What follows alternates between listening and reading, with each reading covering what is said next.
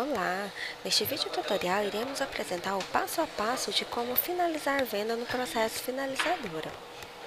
O processo finalizador é utilizado para vincular os planos e as formas de pagamento, evitando o uso indevido de cobranças e planos de pagamento no PDV.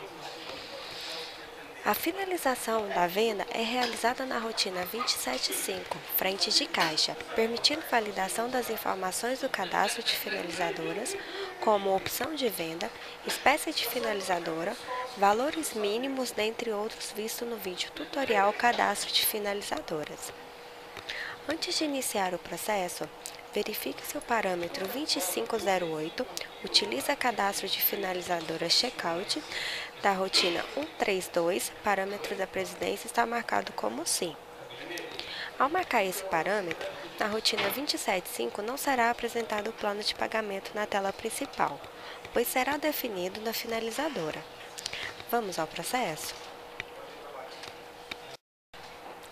Acesse a rotina 275, frente de caixa, abra a venda. É necessária a identificação do consumidor apenas para vendas a prazo, para as demais vendas é opcional. Registre os itens. Tecle F1 para a tela de pagamento. Tecle R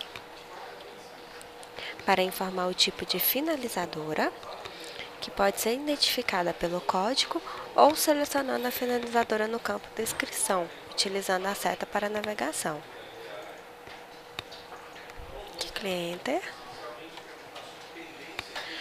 Tecle F.